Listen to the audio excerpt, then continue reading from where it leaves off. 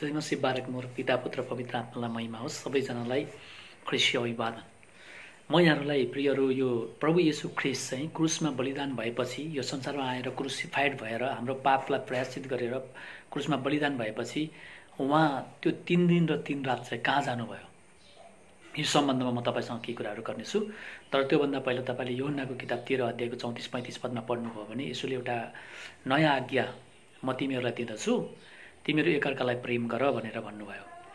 अनि पैँतिस पदमा चाहिँ यदि तिमीहरूले एकअर्कालाई प्रेम गर्यौ भने यसैबाट सबैले जान्नेछन् कि तिमीहरू मेरा चेलाहरू हौ भनेर उहाँले भन्नुभएको छ। प्रियहरू हामीले यो संसारमा हुँदा एकले अर्कालाई प्रेम गर्नुपर्छ भन्ने कुरा क्रिस्चियन विश्वासमा यसुलाई पछ्याउँदै गर्दा हामीले कहिले पनि नबोलौँ भनेर म तपाईँलाई भन्न चाहन्छु। ठिकै छ। क्रुसमा बलिदान भएपछि यसु प्रभु तिन दिन र तिन रात कहाँ जानुभयो? तपाईँलाई मैले यो कुरा एपिसीको किताब चार अध्यायको आठदेखि दसमा हेर्दाखेरि उहाँ उच्चमा चढी जानुभयो कैदलाई बन्दी बनाएर लानुभयो र मानिसहरूलाई वरदानहरू दिनुभयो भनेर लेखेको छ भने नौ पदमा चाहिँ उहाँ उच्चमा चढी जानुहुँदा जानुभयो भनेर लेखेको छ। यदि उच्चमा चढी जानुभयो भनेको चाहिँ के हो त वास्तवमा भन्ने भन्दाखेरि केवल यही हो कि तपाईँलाई मैले यसरी बुझ्नुपर्छ कि पृथ्वीको तल्लो भागमा ओर्लनु भयो भनेर त्यहाँ लेखेको छ। दस पदमा चाहिँ उहाँ जो ओर्लनु भयो उहाँ नै सारा स्वर्गहरूभन्दा धेरै माथि पनि चढी जानुभयो यस हेतुले कि समस्त थोकलाई उहाँले भरिपूर्ण पार्न सकुन् भनेर लेखेको छ। अनि तपाईँले पहिलो पत्रुस तिनको अठारदेखि बिसमा हेर्नुभयो भने ख्रिस पापीहरूका निम्ति सदाको लागि एकचोटि मर्नुभयो अनि उन्नाइस पदमा लेखेको छ यसै आत्मामा उहाँ कैदमा परेका आत्माहरूलाई पनि प्रचार गर्नुभयो अनि प्रेतको किताब तपाईँले दुईको बाइसदेखि एकतिसका पदहरूलाई हेर्नुभयो भने त्यहाँ उहाँले के गर्नुभयो र उहाँ अहिले कहाँ हुनुहुन्छ भनेर पत्रुसले प्रचार गरेको कुरा तपाईँले थाहा पाउनुहुन्छ। उहाँ पृथ्वीको तल्लो छेउसम्म जानुभयो। पहिलो पत्रुस तिनको उन्नाइसमा कैदका आत्माहरूलाई उहाँले प्रचार गर्नुभयो। अनि प्रेतको किताब तपाईँले दुई अध्यायको बाइसदेखि एकतिसमा पढ्नुभयो भने त्यहाँ दाउदले राजाले भन्छन् कि तपाईँले मेरो प्राणलाई अधोलोकमा छोड्नु भएको छैन। अनि तपाईँले भजन सङ्ग्रह एक सय सोह्र अध्यायको दस र एघार पद पनि पढ्नुभयो भने त्यसले अझै तपाईँलाई दाउदले भनेको कुरालाई पुष्टि गर्छ। प्रेतको किताब दुई अध्यायको उन्तिस पदमा दाउदले यसोरी यसु बौरी उठ्ने बारेमा पहिल्यै अगमबाडी गरेका छन्। लुका छब्बिसको एकचालिसमा यसुले एउटा चोरलाई तिमी आजै मसँग स्वर्गमा हुनेछौ भनेर भन्नुभयो। यदि यस्तो हो भने प्रियहरू उहाँ अधोलोकमा कसरी जानुभयो? यौन्नाको किताब बिस अध्यायको सत्र पदमा त्यहाँ लेखेको छ उहाँले मरियमलाई छुन दिनु भएन। उहाँले भन्नुभयो अहिले म अहिलेसम्म म पिता कहाँ गएको छैन? म भन्नुभयो। अनि मरियमले छुन खोज्दा छुन दिनु भएन। यो सबै वचन पढ्दा तपाईँ र ममा एउटा कन्फ्युजन उत्पन्न हुन्छ। लुकाको सुसमाचारमा चोरलाई यसुले के भन्नुभयो भने आफैले उहाँले भन्नुभयो तिमी आज नै मसँग स्वर्ग लोकमा हुनेछौ। त्यसो हो भने चाहिँ यसु कहाँ जानुभयो? भन्ने एउटा प्रश्न तपाईँ र मेरो अगाडि खडा हुन्छ। त यो कुरा हामीले बुझ्नलाई परमेश्वरको वचन ठिक प्रकारले बुझ्नुपर्छ भनेर म तपाईँहरूलाई भन्न चाहन्छु।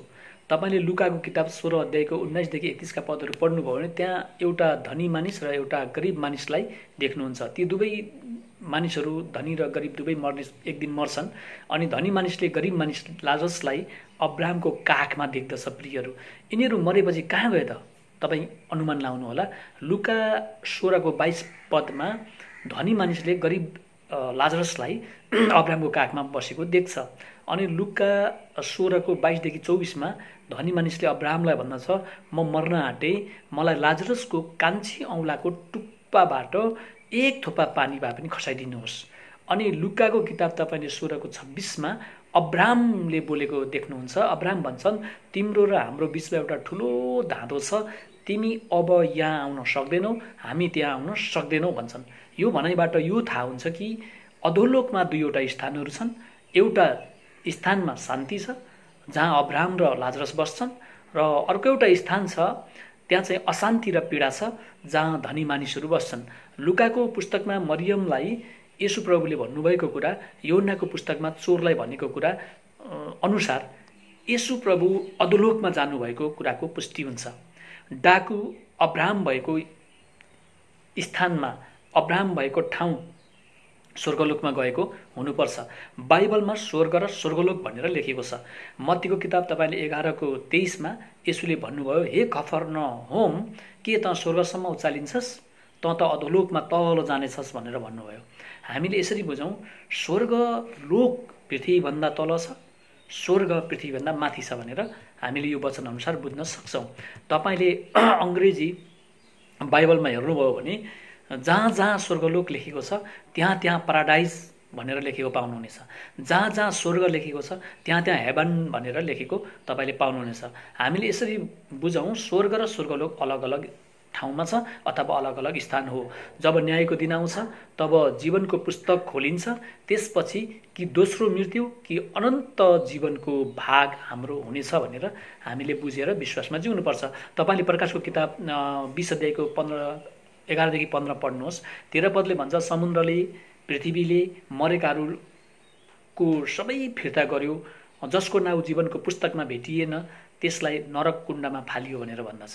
प्रकाशको किताब तपाईँले एक्काइसको चारमा पढ्नुभयो भने जीवनको पुस्तकमा नाम नहुने हरेक अनन्तको स्वर्गमा जीवनको पुस्तकमा नाम हुनेहरू अनन्तको स्वर्गमा लगिए भनेर भन्दछ। यसु अधोलोकमा जानुभयो। यसु पृथ्वीमा आउनुभयो अनि यसु लगभग पाँच सयजनाभन्दा बेसी मानिसको माझहरू माझबाट अनन्तको स्वर्गम स्वर्गमा जहाँ पिता बस्नुहुन्छ त्यहाँ जानुभयो र पिताको दाहिने हाततर्फ बस्नुभएको छ भन्ने कुरा बाइबलले प्रेरितको किताबले गर्दछ प्रियहरू। प्रेरित एकको तपाईँले नौदेखि एघार पनि तपाईँले हेर्न सक्नुहुन्छ। त्यहाँ लेखिएको छ यसो जसरी अहिले जानुभयो त्यसरी नै एक दिन आउनुहुनेछ भनेर लेखिएको छ प्रियहरू। हामी दोधार नभइकन विश्वासमा कन्फ्युजनमा नपरिकन अघि बढौँ। वचन पढ्दा कन्फ्युजनमा नजिउँ कन्फ्युजनमा नरहँ वचन सत्य छ यसु सत्य हुनुहुन्छ तपाईँ सत्यमा आउनुहोस् र सत्यमा तपाईँ जिउनुहोस् सत्यमा जिउन डराउनु पर्दैन तपाईँ परमेश्वरलाई सिफारिस लेखेर जन्मिनु भएको होइन र तपाईँ सैतानलाई घुस खुवाउँदै बाँचिरहनु भएको पनि छैन। तपाईँ परमेश्वरको इच्छामा जन्मिनु भएको हो उहाँको इच्छामा नै तपाईँ बाँच्नुहोस् परमेश्वरले तपाईँहरू सबैलाई